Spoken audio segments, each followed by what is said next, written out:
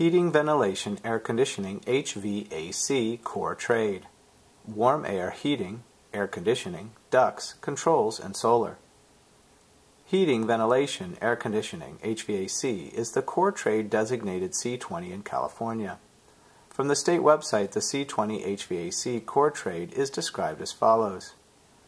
Quote, a warm air heating, ventilating, and air conditioning contractor fabricates, installs, maintains, services, and repairs warm air heating systems and water heating heat pumps, complete with warm air appliances, ventilating systems, complete with blowers and plenum chambers, air conditioning systems, complete with air conditioning unit, and the ducts, registers, flues, humidity, and thermostatic controls, and air filters in connection with any of these systems.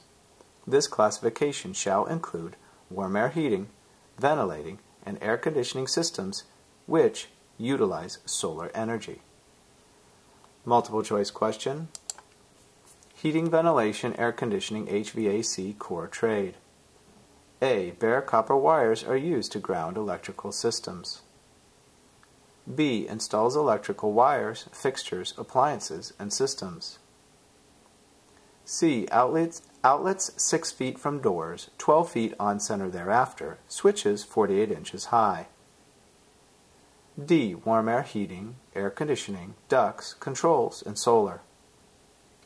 Well, the best answer choice in this case from what we've been given for heating, ventilation, air conditioning, HVAC core trade is D as in dog, warm air heating, air conditioning, ducts, controls, and solar.